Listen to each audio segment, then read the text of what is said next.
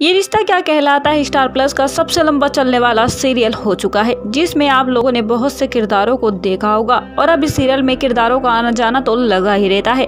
इन्हीं में से एक किरदार था गायत्री का, जो इस सीरियल में नैतिक की माँ और अक्षरा की सास का किरदार निभाती हुई नज़र आई थी और दर्शकों ने सीरियल में इनको काफ़ी ज़्यादा पसंद किया था। लेकिन दोस्तों, क्या आप जानते हैं, ये रिश्ता क्या कहलाता है? मैं गायत्री का किरदार निभाने वाली ये अभिनेत्री आज कहाँ है, क्या करती हैं और कैसे दिखती हैं? अगर आप इनके बारे में जानना चाहते हो तो आप हमारे वीडियो के एंड तक ज़रूर बने रहे। आपको बता दें की टीवी सीरियल ये रिश्ता क्या कहलाता है? मैं जहाँ एक और नैतिक और अक्षरा की जोड़ी को काफ़ी ज़्यादा पसंद किया जा रहा था तो दूसरी ओर इस सीरियल के हर एक किरदार को भी दर्शक अपना भरपूर प्यार दे रहे थे। इन्हीं में से एक किरदार था गायत्री। गायत्री का जिसको सोनाली वर्मा निभाती हुई नज़र आ रही थी।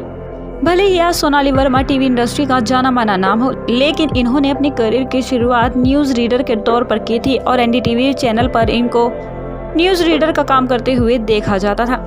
कई साल तक न्यूज़ चैनल पर काम करने के बाद इनको टीवी सीरियल, ये रिश्ता क्या कहलाता है में काम करने का मौका मिला और यहीं से इनके टीवी करियर की शुरुआत हुई। जिसमें इनको गायत्री का किरदार निभाते हुए देखा गया और अपने इस किरदार से ये काफ़ी ज़्यादा फ़ेमस भी हुई और आज भी दर्शक इनको इसी किरदार की वजह से जानते हैं।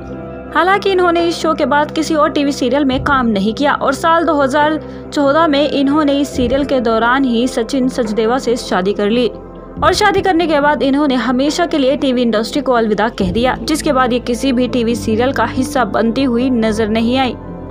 और आज बीते कुछ सालों में सोनाली वर्मा यानी कि ये रिश्ता क्या कहलाता है कि गायत्री पहले से काफ़ी ज़्यादा खूबसूरत दिखाई देती है और पहले से काफ़ी ज़्यादा स्टाइलिश भी नज़र आती हैं। जैसा कि आप इनकी इन तस्वीरों में साफ़ तौर पर देख सकते हो और अब इनको पहली नज़र में पहचान पाना भी काफ़ी ज़्यादा मुश्किल हो जाता है। तो दोस्तों, आप सभी को ये रिश्ता क्या कहलाता है? मैं गायत्री यानी कि सोनाली वर्मा का किरदार कैसा लगा था? आप हमें कमेंट बॉक्स में कमेंट करके ज़रूर बताएँ।